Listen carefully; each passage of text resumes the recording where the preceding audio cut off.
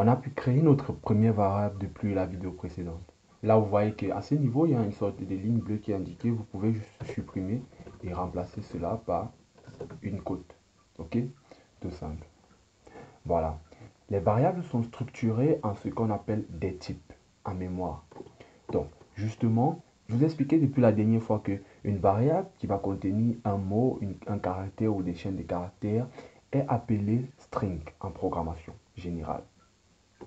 Donc, ces types, ce sont des façons de spécifier ce qui va être contenu à l'emplacement mémoire.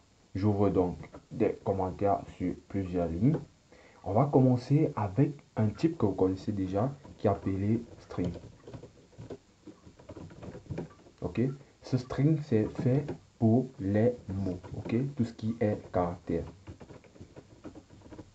On est bien d'accord?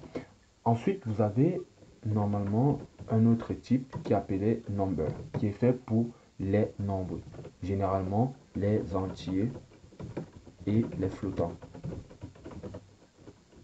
Ok? Les flottants, c'est les nombres décimaux. Ensuite, vous avez un autre type qui est appelé booléen, qui va contenir les valeurs bool, vrai ou faux. Ok? Je mets ça en anglais parce qu'on va coder en date avec ces valeurs-là en anglais, true ou false. Ensuite, vous avez un autre type qui est liste. Vous avez aussi euh, un autre type qui est appelé map ou dictionnaire.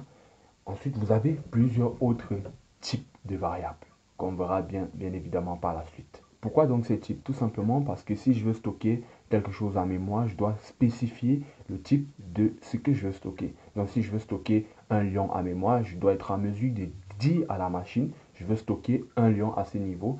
Et là, par exemple, à ce niveau, je vais mettre lion. OK Vous allez mettre lion à ce niveau avant de créer votre variable. Ensuite, mettre le lion. Donc là, comme on veut créer par exemple un string, on va mettre string. OK Il n'y a pas toujours de problème. Donc, comme tout à l'heure, on avait va. OK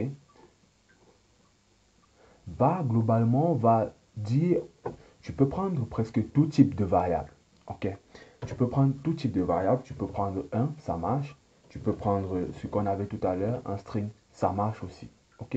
Mais il est important de pouvoir définir le type de votre variable afin de gagner plus en mémoire. Donc c'est plus pour un souci de mémoire et plus pour l'exécution rapide de votre programme. var nous permet donc de créer un type de variable générique ou général ou global. Donc pour chaque variable que vous devez faire, il est bien conseillé de pouvoir spécifier le type de variable que vous voulez créer. OK? Donc là, je vais créer par exemple une nouvelle variable nom. Et je peux mettre point virgule. Donc vous allez voir qu'à chaque fois, je mets point virgule. Point virgule permet tout simplement de dire fin de l'instruction. OK? Fin de l'instruction à la ligne. Donc euh, vous mettez toujours point virgule. Sinon, regardez, si je mets pas point virgule, il y a l'erreur qui s'affiche et c'est pas bon. Donc vous mettez point virgule pour indiquer la fin de l'instruction. Après, je peux réassigner à cette variable une valeur. Ok? Donc là, je peux mettre youngDev par exemple. Ok? Et bien évidemment, si je prends ce nom et que je l'affiche, maintenant je vais faire run. Voilà, vous avez donc youngDev à ce niveau donc, on a créé une variable de type caractère et ensuite, on a stocké mon nom à l'intérieur de cette variable et on a affiché ce nom. Donc, regardez ce qui se passe lorsque je rentre au code précédent de la création de ma variable sans toutefois la déclarer. Vous avez donc euh, ce type de ligne bleue et si vous pouvez lire The value of the local variable non is not used parce que tout simplement la variable a été déclarée mais n'est pas encore utilisée. Donc pour éviter ça, vous pouvez donc déclarer cette variable comme on a eu à faire. OK? Et lorsque je déclare cette variable, je l'utilise, hop là, la ligne part, ok? La ligne disparaît.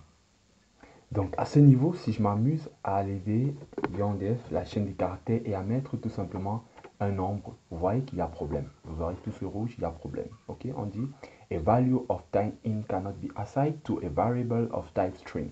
Donc, je ne peux pas venir mettre un lion où un éléphant est censé être. Ou tout simplement, je ne peux pas déclarer une variable pour contenir un éléphant et ensuite je viens mettre un lion à ce niveau. Ça marche pas comme ça. OK? Au contraire, si j'enlève Cameroun, si je déclare juste mon pays avec variable et qu'ensuite je viens, je mets pays égal à 1, il n'y aura pas de problème. Vous voyez, il n'y aura pas de problème. Donc si je viens, je mets aussi caractère, il n'y aura, pas, il y aura pas de problème. Tout simplement parce que le mot-clé var permet de généraliser la création d'une variable. Donc vous avez donc deux façons de créer une variable. Soit vous utilisez var, qui permet, qui est plus générique, soit vous utilisez directement le type de ce que vous voulez euh, créer. Donc généralement, en utilisant le type de ce que vous voulez créer, ça permet au programme de ne plus vérifier le type. Donc du coup, à votre programme d'être plus rapide.